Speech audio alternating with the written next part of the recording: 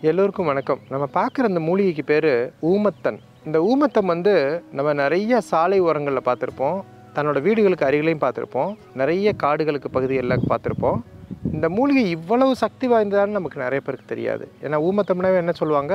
ஊமத்தில் நமக்கு தட்டுரா மெட்டல் வெள்ளை ஊமத்தம் கரு ஊமத்தம் நீலம் அப்படின்னு சொல்லி பல்வேறு வகைகள் இருந்தாலும் நமக்கு இந்த வெள்ளை ஊமத்தம் தான் வந்து ஏராளமாக நம்ம எளிதில் கிடைக்கிறது.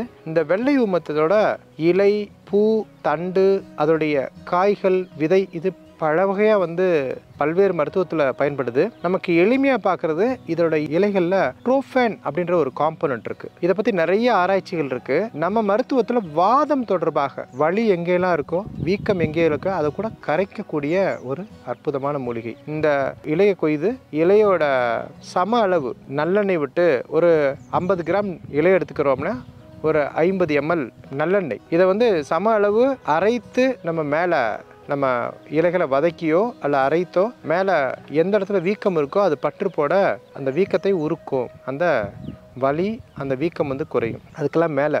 இன்றைய காலகட்டத்தில் ஒரு சவாலான ஒரு மருத்துவத்துக்கு இது வந்து அற்புதமான மூலிகையாக இருக்குது ஊமத்தத்தோட இலைகளை எடுத்துட்டு இந்த இலையை வந்து ஒரு நூறு கிராம் இலையை எடுத்துக்கிறோம் அப்படின்னா கைப்பிடி அளவுக்கு நீ இலையை எடுத்துக்கிறோன்னா இந்த இலையை நல்லா அடைச்சிட்டு இதுக்கு சம அளவு தேங்காய் எண்ணெய் விட்டு நம்ம ஒரு எண்ணெயாக காட்சி எடுக்கிறதுக்கு பிறகு மத்தன் தைலம் அப்படின்றாங்க ஊமத்தன் தைலம்.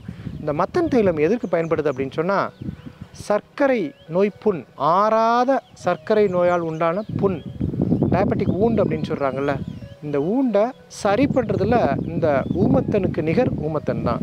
நிறைய பேர் வந்து இந்த மத்தன் தைலம். இந்த ஊமத்தனோட தயாரிப்பில் செய்யப்பட்ட எண்ணெயை வைத்து தங்களுடைய சர்க்கரை நோய் புண்களை சரி பண்ணிக்க பார்த்துருக்கோம். இந்த ஊமத்தனத்தில் இருக்கக்கூடிய இந்த ட்ரோஃபோன் காம்பனண்ட்டை பற்றி நிறைய ஆராய்ச்சிகள் இருக்குது நம்ம இந்த ஊமத்தையோட பயன்களை அறிவோம் நாம் பயன்படுத்துவோம். நாம் மூலிகையை பழகுவோம் வாருங்கள்.